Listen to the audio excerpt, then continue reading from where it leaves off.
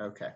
Uh, welcome, everyone. It's wonderful uh, to have you all here on this shiur tonight. It's wonderful to see such a big crowd and uh, to enhance our Chol Hamoed with some Divrei Torah and powerful Divrei Torah.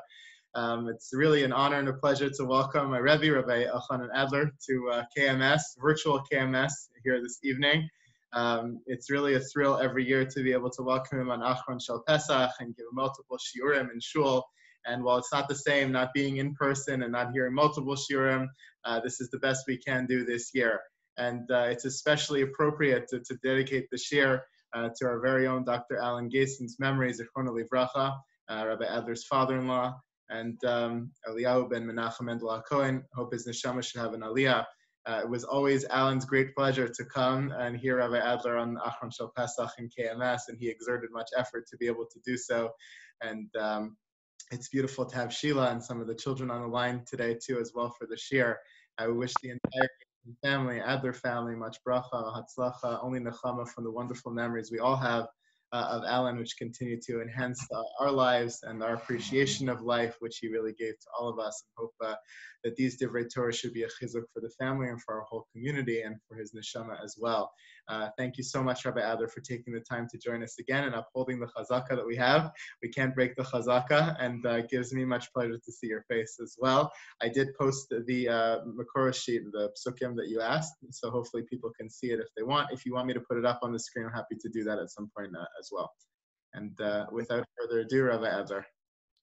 Okay, thank you. Thank you. With wonderful introduction. Uh, Moedim with Simcha, and Moed to everybody. Uh, friends, I don't need to tell you that we are living through very difficult and challenging times. Uh, a reality which is literally unprecedented. Um, with a quarter of the world's population living under some degree of lockdown, so many people have been, so many people unfortunately have succumbed to an invisible enemy. Uh, our whole regular routine has been disrupted and turned on its, turned on its head. There's a lot of uncertainty, a lot of anxiety, and what lies ahead is unpredictable. And yet, we are a resilient people. Our Pesach plans certainly turned out quite differently than we had anticipated, but we do celebrate Pesach nonetheless, and we celebrate Pesach with a spirit of optimism and hope. Pesach is, of course, Zman Cheruseinu, Nisan is a season of Geula. And let us hope that somehow we will all be strengthened through this, both individually and collectively, and that we in fact merit to see the Geula, the redemption of Am Yisrael, and a more perfect world with the coming of Mashiach Mehera B'Yameinu. Amen. So as you know, this virtual Zoom shiur is given in the tradition of an annual scholar in residence program at KMS on Acharon Shel Pesach. It's really always been a highlight of my Yantif to come and to visit with Rabbi Weinberg, who I can proudly claim as a Talmid going back quite a number of years. And uh, the Gemara tells us, Vishinantam levanecha doesn't just mean literally your children, actually means your Talmidim. If there are, if there's a prized Talmid that I can genuinely feel that sense of pride as a son, it would be Rabbi Weinberg. And I, I want to thank you, Rabbi Weinberg, for coming up with this alternative way of continuing our tradition. I also want to thank Aryeh Shadovsky, the executive director of KMS, for all, all, of his logistical help and all those who were involved in coordinating this year. In past years, as you just heard, um, on Acharon Shal Pesach, these shiurim were attended by my late father-in-law, Dr. Allen Gaisin, I know how much it meant to him to be able to come and how much he appreciated the words of Torah. My father-in-law, who passed away last summer, was extremely beloved in the Silver Spring community. And so I thought it would be very appropriate to dedicate this shiur in his memory. I want to acknowledge my mother-in-law, Mrs. Sheila Gaisin, who's here with us in this virtual space. Uh, Mommy, I, I wish we could be with you in person as well as with the rest of the family and all of you together. I want to thank all of you for tuning in, for your participation, and I'd like to get right to right to the topic of this shiur. So this entire shiur revolves around five pesukim that would normally be read in shul on the seventh day of Pesach. Unfortunately, We won't have that opportunity this year to do it in shul, but we can certainly look at the laning ourselves. These are the five psukim that conclude that conclude that last aliyah, that would, would be the last aliyah. It's an episode that occurred shortly after the miracle of Kriyas Yamsuf, the splitting of the sea. And I think it would be worth looking at your sheets together with me. If Rabbi Weinberg, if you want to post it, we can do it that way, or we can, you know, people can look at whatever they printed out. Great. So I'd like to begin by reading with you these five psukim and really try to dissect what lies within these lines, these words, and try to come up with a certain perspective. So the background here is in Parshas Beshalach, the Torah records how the Bnei Israel, after the Kriyas Yamsuf, they traveled for three days in the desert, as it says in the first pasuk, Vayasa Moshe Yisrael mi They went into the desert. They traveled for three days in the desert and they could not find any water. So their next pasuk, the second of the five, Marasa. They arrive in a place called Mara. They were unable to drink of that water in Mara. Because the water was bitter. Al Kain Karish Mara. That's why the place was named Mara, because of the bitter waters. Okay, that's our second pasuk. Now let's get to the crux of the story. Vayilonu ha'am al Moshe lemor manishte. So the people grumbled, as the translation here has it. They complained against Moshe, saying, "What shall we drink?"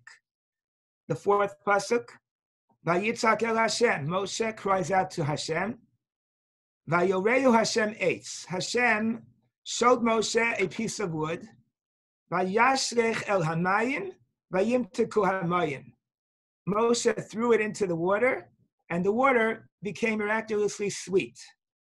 And here the pasuk concludes with a very interesting phrase: "Sham sam lo choku mishpat v'sham nisahu." Here we have a couple of points being made in juxtaposition with the miracle of sweetening the water.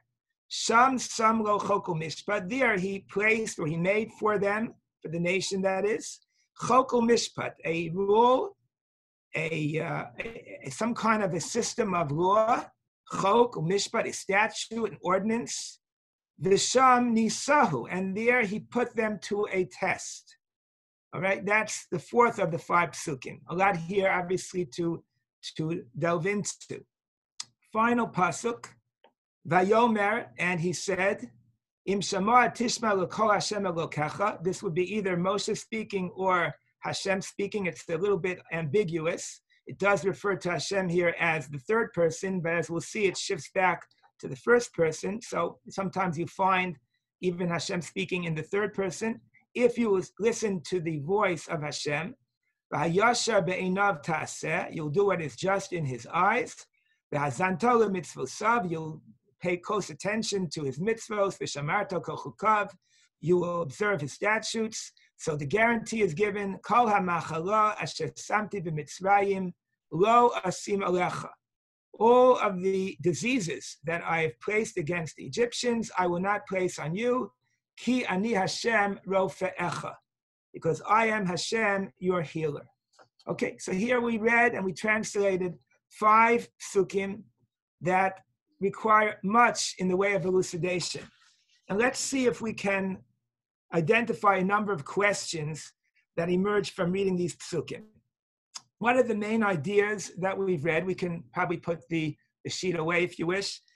Uh, what are the main ideas that we've, that we've noticed here? So there's the three days without water, and then the water is bitter, and they don't know how to, what to do. The water is bitter. Moshe Rabbeinu miraculously, by Hashem's guidance, throws some wood into the water and becomes sweet. So that's one piece of the story. Connected with that is the fact that he placed before them some kind of system of, of law. What does that mean exactly? And what about the test that's connected to it? So, what is the significance of this of the miracle of sweetening the water? How does that aspect of the story connect, relate to the other facets of the story, the law, that was set up for them, the test that was set up, and then the notion of healing that we read in the last pasuk. What does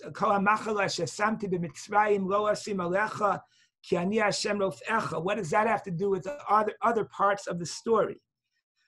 What laws were presented at this point, at this juncture? Chok mishpat, what is being referred to here? Finally, what about the test? What was the test? What was the nature of the test? And did they pass the test or did they not pass the test?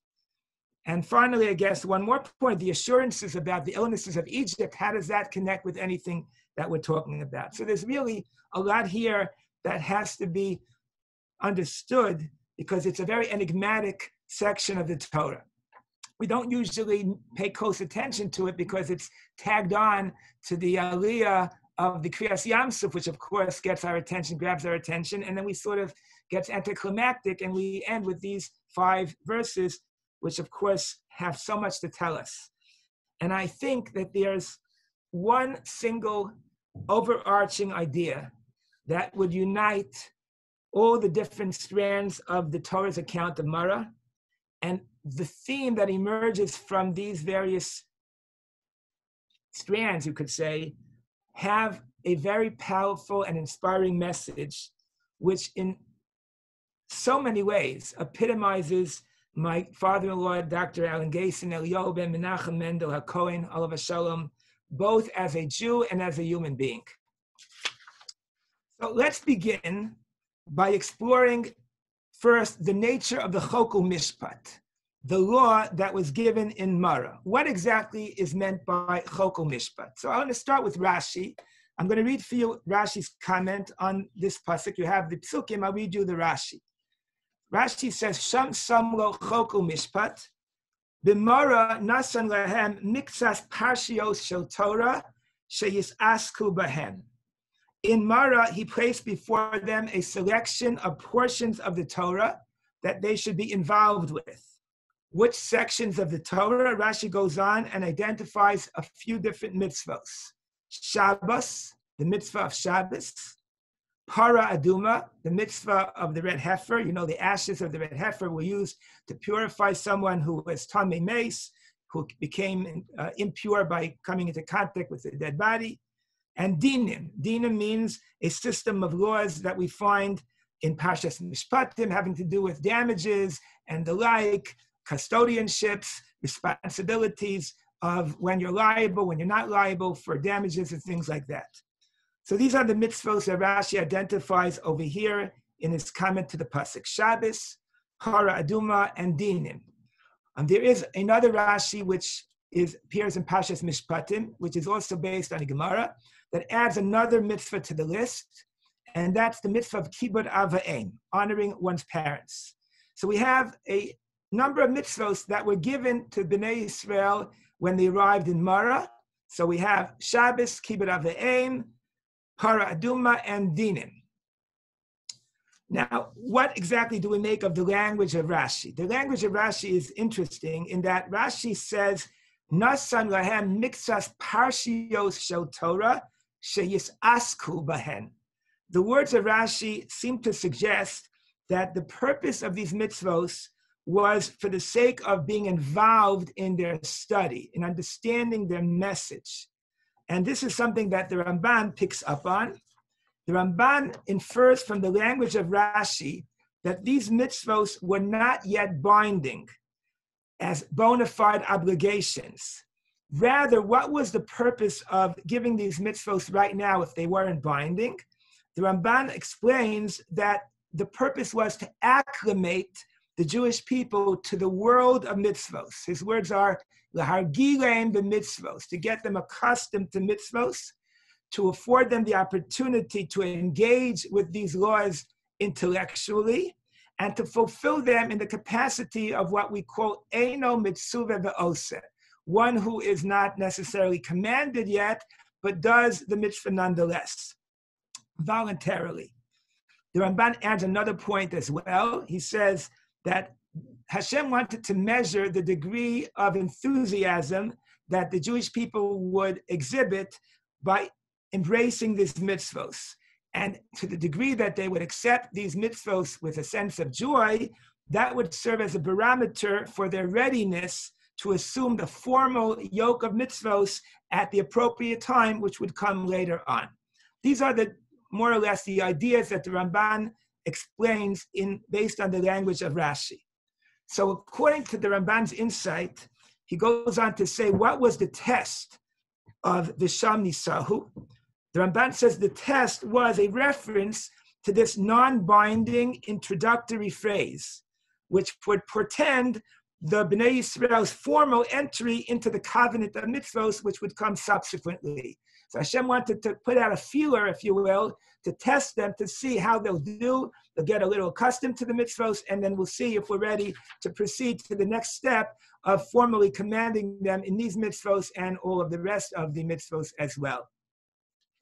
All right, so let's pause for a section for a second and think about the nature of these particular mitzvos, which according to the Ramban, as we said, they're not binding yet. They're a way for Bnei Israel to get comfortable with mitzvos, to think about the mitzvos intellectually, to engage with them without being formally commanded. Why these particular mitzvos? What, what common theme do these mitzvos have? What types of ideas would emerge for Bnei Israel to glean from being involved and occupied with the study of these particular mitzvahs? And I believe the answer is the common feature of all these mitzvahs is that all of them promote, in one form or another, the establishment of social norms that are crucial to the functioning of a civil society. Broadly speaking, they all reflect values that we would call derech eretz, respecting the rights of others, feeling and expressing gratitude, exercising self-control, self-discipline over one's base tendencies, etc. Now, the most obvious example of this would be dinim. Dinim are the corpus of laws that we have outlined in Parshas Mishpatim, with a heavy emphasis on crimes of an interpersonal nature if you cause damage, you have to make restitution. If you take assume responsibility for something that somebody gave you for safekeeping, there are standards for when you have to pay and when you don't have to pay. This is obviously crucial for any society to function. Kibbut aim, honoring one's parents, obviously on the most basic level, this is an expression of gratitude toward people uh, whose who every human being owes his or her existence to. Obviously, that's very basic to human nature. Kibbut aim. Observing Shabbos is an exercise in self-discipline. It entails a great measure of self-sacrifice. You work for six days and then you have to throw away your proverbial hammer and nails and you have to put it aside and not work on the seventh day.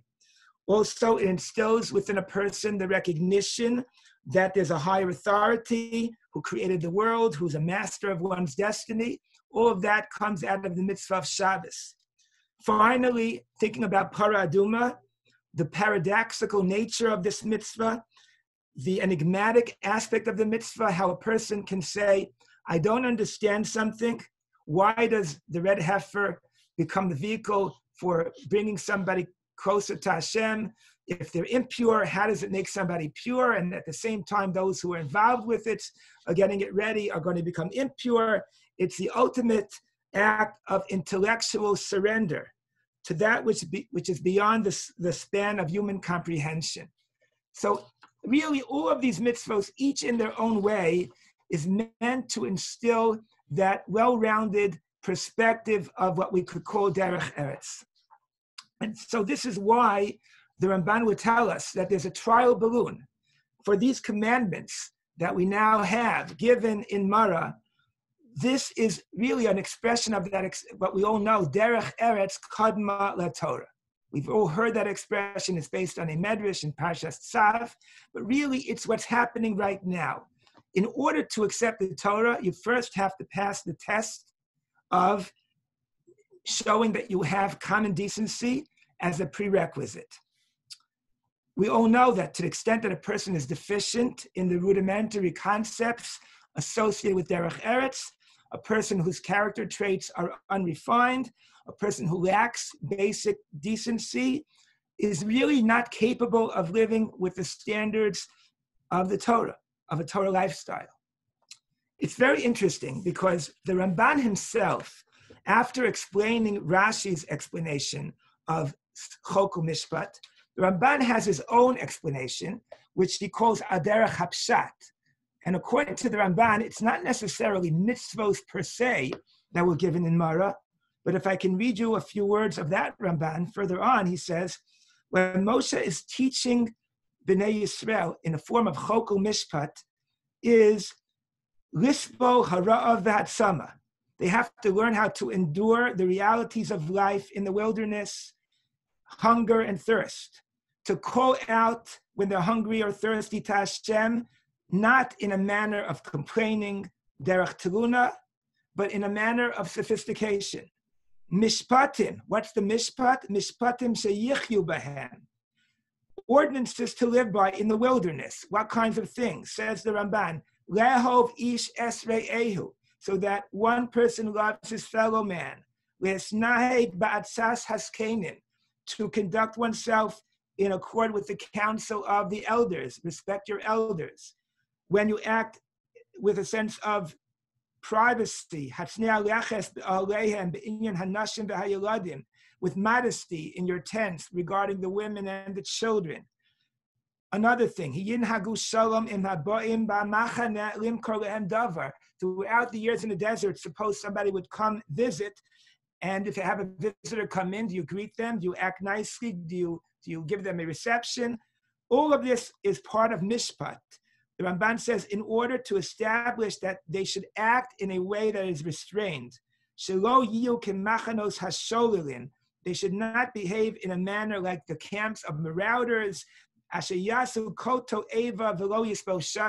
act in a way without any taboos on what they do, all kinds of abominations. So what the Ramban is saying, al derech hapshat, is precisely what we are suggesting within the explanation that he offers for Rashi basically, the point of Mara was to accentuate the idea of Derech Eretz Kadma Torah. So now let's take this step a step further. Let's analyze the meaning of the test, the Sham Nisahu.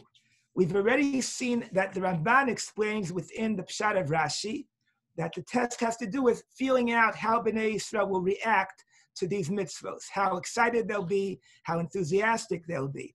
But it's interesting that Rashi offers a different interpretation for himself within his own explanation of what the test was. And I read you the explanation of Rashi of Visham Nisahu, there he tested them. Rashi says, Visham Nisahu la'am, he tested the people, Vira'a kishay arpan, he saw their stubbornness. They didn't consult Moshe with appropriate, refined language.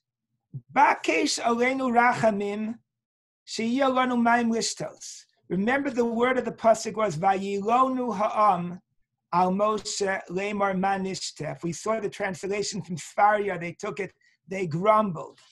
Says Rashi, Visham nisahu Hashem saw their stubbornness. They didn't ask nicely. They didn't say, Moshe, please, Davin, ask Hashem for water. Ella, rather, what did they do? They just complained, Nislonanu. That is the meaning of the test. Now, this is very interesting because according to Rashi's interpretation, it emerges that this test was not a test that the Bnei Israel passed it was a test that they failed miserably at. They didn't ask for the water in the proper way. They could have asked nicely, but they used demanding language, unrefined language in expressing their gripes regarding the water. Now, this is perplexing. Why would Hashem subject his people to a test that they were destined to fail? Secondly, why does the Torah ju- juxtapose the mention of the test with the system of laws that were presented to the nation? If you go back and look at the language of the pasuk, Sham Samlo Chokol Mishpat. This is okay. yeah, take another look at the words in pasuk, um, in the fourth pasuk. So Now, the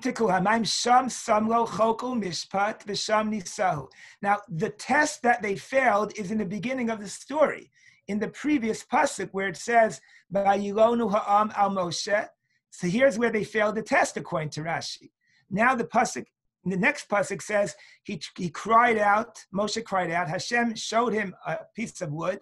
He threw the wood into the water. The water turned sweet, and suddenly the Torah the Torah tells us how he gave them mitzvos, and suddenly the Torah gives us a, you know, a step back, takes us a step back to the beginning of the story, Visham Nisahu. Like, why is the Torah telling us about the test that the Jews failed after everything else that it tells us? And what's the connection between the two parts of the end of the pasuk? Sham Samlachoko Mishpat means he gave them these various laws. As Rashi has it, Shabbos, Dinim, Paraduma, we added Kibbut Aim and then saying in the same breath, Visham Nisahu, that he tested them, meaning he saw that they didn't know how to ask properly for water. They were exposed and they failed the test. Like the whole way that the Torah is, is putting everything in sequence seems very, very strange.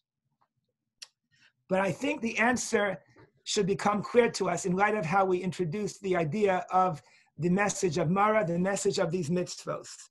We pointed out that these mitzvos specifically encapsulate the norms of Derech Eretz. And the purpose of these mitzvos was to instill within the people the values of Derech Eretz, which would emerge from them becoming familiar with these mitzvos, even though they're not yet commanded. And now we can appreciate what the Torah is saying. Why were the people subjected to a test that they were destined to fail? And the answer is to provide them with a chance to look at the proverbial mirror, to allow them and to see, to show them empirical evidence of their own deficiencies within the realm of Derech Eretz, so that they can be treated with a regimen of Derech Eretz principles. If you don't know what you're missing, you're not going to look for the cure. And therefore, now that they recognize that as they begin to recognize what Derech Eretz is, and they realize, wow, we didn't get it. We were so lacking Derech Eretz in the manner in which we ask for our water. And now that they begin to study Shabbos and Kibbut Aim and Paraduma and Dinim, and they begin to realize this is how to change our behavior. The Torah juxtaposes the failure of the test with the fact that they were given the portions of Torah Meaning, why did Hashem give them the Chokul Mishpat at this point? Why did he do it as an antidote to the fact that Bisham Nisahu, that he, he had tested them and they didn't, they didn't pass the test. They needed help, and that's why Hashem provides them with the help that he did in the form of the mitzvos. And it was because it became, became so apparent to them that now they're willing to take the remedy and appreciate what they can gain from the learning of these mitzvahs. It would heighten their awareness of the degree of their lack and would simultaneously provide them with a roadmap for building their character in the future. now, with this in mind, we focus so far on the Chokul Mishpat and on the test. Let's now broaden our focus to the sweetening of the water. How does all that connect? After all, the Torah speaks about the water turning sweet in the same sentence that it speaks about the fact that they were given the laws that they were given and the test. So, what is the significance of the symbolism, if you will, of the water becoming sweet? We all understand there's a metaphor here. What is compared to water, as we know? Torah is compared to water. The Torah's ways, as we know, are described as darche noam. Darche noam. Its paths are sweet, which is a testament, test, a testament to the critical link between Torah and possessing a pleasant character. The Gemara talks about how a person who who is one who is knowledgeable in Torah. So the best thing they can do is to create a Kiddush Hashem in all they do so that people recognize Torah is what gives them that beautiful character. Praiseworthy is their, their parents, praiseworthy are their, their Rebbe. Um, if Derech Eretz is a prerequisite for Torah, then the metaphor of the bitter waters of Mara would symbolize the deficiencies that the people had at this juncture in Derech Eretz. It was not yet a Torah that we could quote Derech Derech Noam. The water was sweet, was bitter, but the water can become sweet. Sweetening the water is a metaphor for infusing Derech Eretz within the equation, as reflected by the curriculum of study that's mentioned here. And through that, there's a transformation from the bitter water to becoming sweet. What it means is the Torah has the ingredient derech eretz, the Torah becomes dracheha derech Noah. Now let's turn to the metaphor of healing. Because what happens in the last pasuk after the water turns sweet, and after they're giving the chokel, giving the chokel mishpat, the laws, and the test, then the final pasuk, we can take another look at it. The pasuk says, "Vayomer im shamoa tishma l'kol Hashem elokecha." If you listen to my laws again with the spirit of derech eretz, as we now brought into the mix, the derech eretz aspect, and all of this will mean the following: Kol all of the illness, all the disease that I've placed against the Egyptians, lo asim alecha, I will not place on you. Ki ani Hashem rofecha, I am Hashem, your healer. Let's understand, in light of how we've been explaining this entire section, what is the significance of this last pasuk? Why does Hashem assure the people right now that by fulfilling the mitzvos, they'll be spared the illnesses of Egypt? Why does Hashem identify himself right now as a healer? How do these themes connect with the sweetening of the water and the laws given in Mara? So there is a prayer that is recited at the time of Birchas Kohanim, which unfortunately, again, we won't have the privilege this uh, last days of Yantif to do, but hopefully for Shavuos, Ezras Hashem. And that is a prayer that people recite for their dreams to become better. It's something that the non-Kohanim, those in the congregation, are saying while the Kohanim are chanting and singing uh, at the three points that they do at Yivarechacha, at the Chunaka, at Shalom. Now, in that prayer of Ribbonu Shel Olam, we speak about how our dreams are dreams we don't really understand. We don't know what to make of them, but we know that dreams represent potential and we want that potential to be actualized if it's good potential. If it's not good potential, we don't want that, that potential to come to realization. And in that prayer, we talk about the concept of healing, specifically in connection to the waters of Mara. And we say, if our dreams need some kind of healing, then let Hashem heal these, heal our dreams, like you healed Chizkiyahu the king when he was sick, like you healed Miriam when she had saras, like you healed Naaman, the general of Aram, when he had uh, a saras, and finally, Ukimei Mara, or number four, Ukimei Mara al Yidei Moshe Rabbeinu.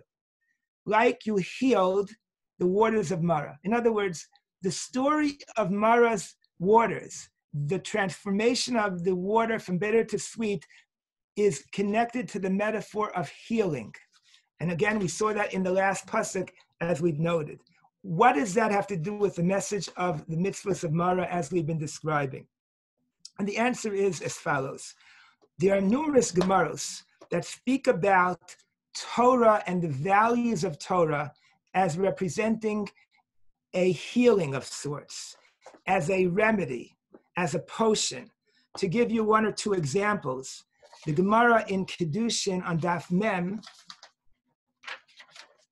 the Gemara says, "V'samtem es devarai ele." It says in Shema, we should put these words on your heart. The Gemara says, Kedushin daf lamed, "V'samtem sam tam." Sam could be read as if it were written with a samuch. Samuch mem is interchangeable with sin mem or shin mem. Sam, samuch mem is a potion. Tam means it's perfect, it works, it's effective. Nimshila Torah kisam. The Torah is compared to a remedy. And if a person has a wound and you put some bandage on it, so the father would tell the child, leave this bandage on and you'll be okay. So it is, HaKadosh Baruch Hu says to Bnei Israel, says the Gemara, Barasi Yetzer Hara, I created the evil inclination, but Barasi lo Torah Tavlin, I've created Torah as a remedy for that. This is one of many Gemaras that connects Torah with healing. It's interesting. We used the word Sam, didn't we? If you go back to the actual pasuk that we had here, where the Torah speaks about the mitzvos of Mara, the, the words appear in the pasuk in striking fashion. Some lo chok umishpat. Notice, right when the Torah speaks about these mitzvos that are given, you have the two words, one after the other in succession, which both of them are a way of expressing the word sam, which means again a a potion, a healing. You actually have it three times in the pasuk. You have it sham, you have it sam, and then you have again visham. Perhaps it's not a coincidence because the message of these mitzvos is mitzvos are meant to serve as a metaphor for healing. The Maharsha in Chidushi Agados to Mesech Shabbos Daf Samach Zayin connects the idea of refuas hanefesh, which is a refuah for a person's character flaws, to refuas haguf, to the idea of medicine that's used for a physical ailment. And he connects it to that Gemara that we just read in Kedushin, Barasi Yetzer Hara, Barasi Go Torah Tavlin. And the Maharsha goes on to connect it as well to the pasuk over here of Kiani Hashem Echa, that Torah can serve as a refuah in the sense for a person's character flaws. So now I think we can understand why the Torah mentions the fact that the promise given here, if you will observe my mitzvos, the mitzvos here of Mara, that are meant to create a paradigm of derech eretz, which is the foundation of Torah. If you really observe these mitzvos and you understand what they mean and you get their message, that all of the illnesses, all the diseases that are placed against Mitzrayim, why do we mention Mitzrayim here? There is a pasuk in Yeshaya that speaks about the Makos in the following way. The pasuk speaks about Hashem striking Egypt. The pasuk appears in Yeshaya Yutes Chav Beis. The Nagaf Hashem es Mitzrayim Nagof Virafo. Hashem strikes Egypt striking and healing. Now, the, the pasuk may be referring to a prophecy for the future, but the Zohar and other commentaries actually refer to the Makos of Mitzrayim with this pasuk. And the Zohar says that there's a dual expression here, Nagof Birafo. Says the Zohar that the, the Makos that Hashem gave to the Mitzrayim, the 10 Makos in Mitzrayim, had two parts to them. Nagof for Mitzrayim, Rafo Yisrael. The Makos had, on the one hand, the aspect of striking, which gave the Makos to the Egyptians. At the same time, there was a healing component for the Jewish people, a therapeutic component. What does this mean? So the Zohar associates it with the mitzvah bris milah that Bnei Israel underwent in Mitzrayim. But many of the svarim, like the Sfas Emes and the Pri Tzadik, suggest that what this means is the Torah is alluding to a spiritual healing that came along with the Jewish peoples being spared the horrible plagues that were visited upon Mitzrayim, because Mitzrayim was a culture that was steeped with licentiousness, with baseness, with a total lack of, you could say, derech eretz. And in effect, when they could see what was happening with Hashem's punishing hand against Mitzrayim, and recognizing how they were being spared, these ravages, it served a therapeutic function. It began to elevate the spiritual psyche of the Jewish people. It began the process of healing, of elevating their spirit. Of course, it was still a while to go, but it was the first step in that process. Nagof the Rafo.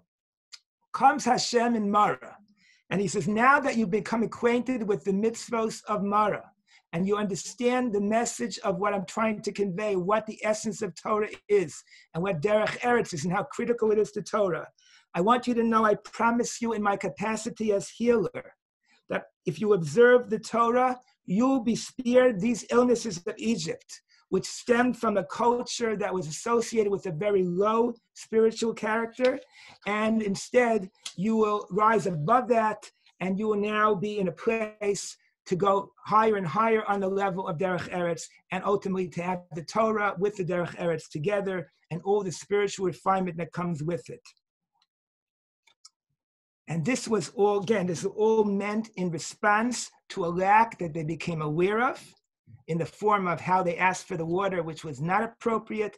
And Hashem came at that moment and he tailored the remedy to the particular spiritual ailment. And that's why the notion of healing is very much part of the story.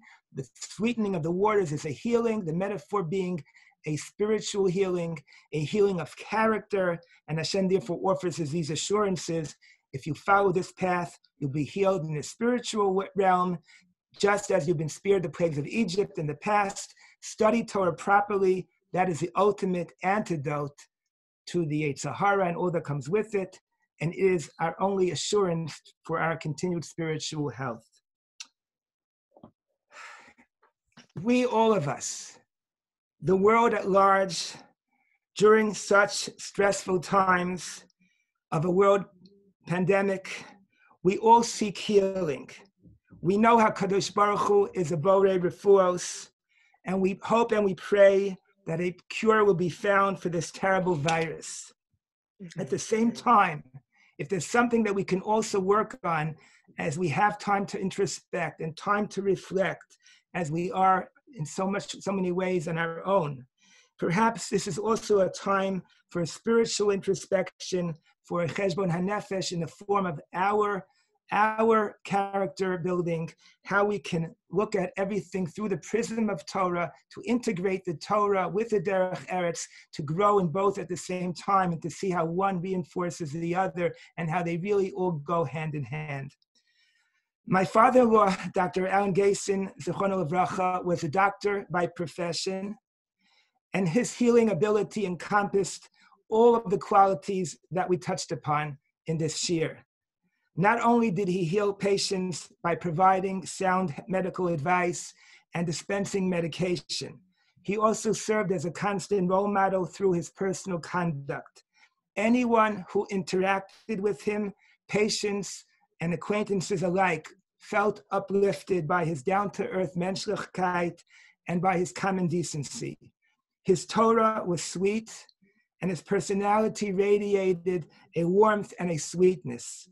What he may have lacked in formal Torah knowledge, he was he more than compensated for in his intuitive grasp of how a life that embodied Derech Eretz to the fullest and how to live a life like that, which he did. He had a natural self-discipline, a genuine sense of being sameach bechelko, happy with his lot, never craving luxuries or other earthly pleasures. He carried himself with a genuine sense of humility, was constantly in awe of the infinite universe and all that lay beyond the realm of human comprehension. His personality bore a natural sweetness, a, a warm and pleasant disposition, and this sweetness of personality made everyone genuinely feel comfortable in his presence. He is sorely missed, and yet we continue to be inspired by his wonderful qualities. Yehi Zichro Baruch, may his memory be a blessing for the entire family, for all of us, all Klal Yisrael. Amen. Amen. Thank you so much, Yasher Koch That was really, really beautiful and gave so much depth, as you always do, to uh, a common concept, Derech Eretz Kadma Torah, but giving it so much depth in the Psukim and the sources and the Gemaras and the Mefarshim, and uh, really giving us a full grasp of uh, what our task should be and what our avodah should be in these days, uh, both to get through this time as well as to grow as human beings and uh, pay tribute to your father-in-law as Neshama should have an aliyah, and everyone should just be blessed with a lot of refuah and uh, a wonderful yontif ahead. Thank you so much, Rabbi I really appreciate it. Thank, Thank you. you. For joining us.